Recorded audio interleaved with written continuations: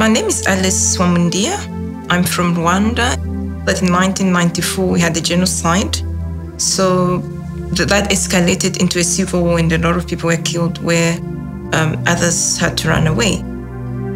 You just, you are disorientated, you are angry. You know, you, you, you ask yourself, but why? What did I do? I didn't do anything. I was a good girl. We had dreams like every young person. We had things we wanted to achieve. We had contributions we wanted to make to the world.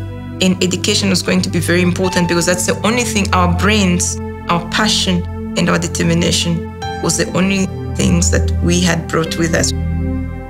Then the problem we realized was that firstly, tertiary education was not accessible for refugee students. People didn't understand what you were. A lot of institutions did not have a policy. So this is the one thing that we're looking forward to, the one thing that has not been taken away from us. Yet we are being told we can't. I didn't want to just let it, you know, block my dream.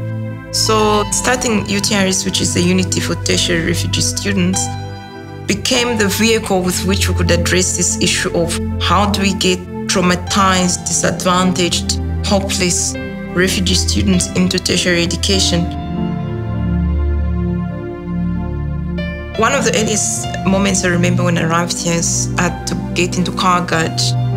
You know, you'd get your little salary and then divide that into, you know, family, school, and then UTRs. You know, this would be the money that would use for transport or if a student came and said, I haven't eaten two days, then, you know, that would be the kitty. But I had a little bit of something extra to give.